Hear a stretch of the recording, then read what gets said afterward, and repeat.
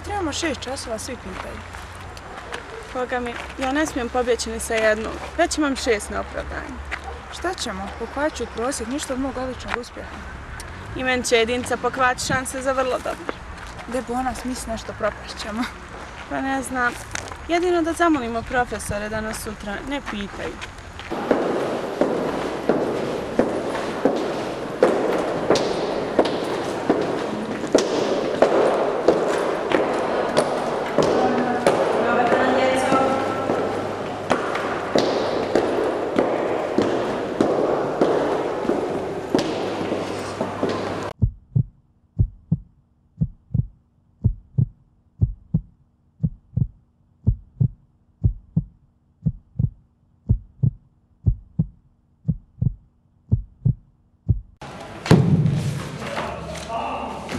Bećirević Adna.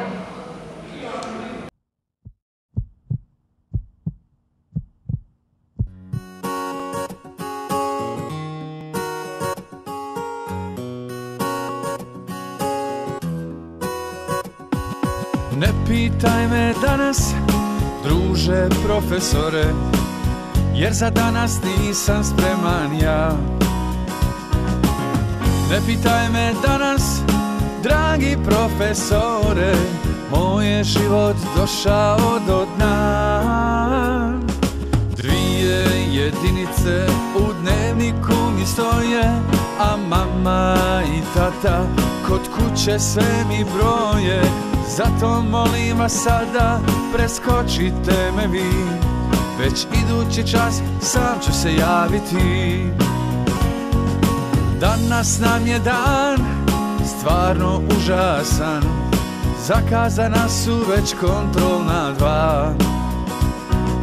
Pored toga fiziku pita čitav čas, a i teški latinski čeka nas. Kad kažu da je školsko doba najljepše od svih, ja se pitam da li je tako, pored briga tih, pa se nadam da će tome nekad doći kraj. Raspust mi se čini kao raj.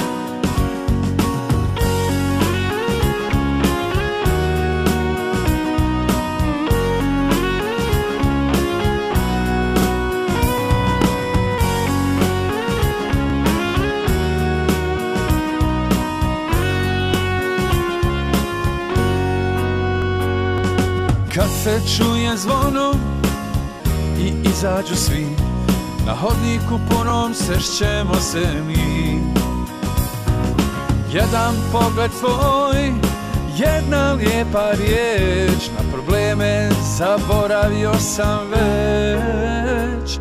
Jer ljubav rane liječi Ona stvara sjaj, potraži je u duši Prostora joj daj, kad ti loše krene Ti se sjeti nje, te uzvišene tajne Božije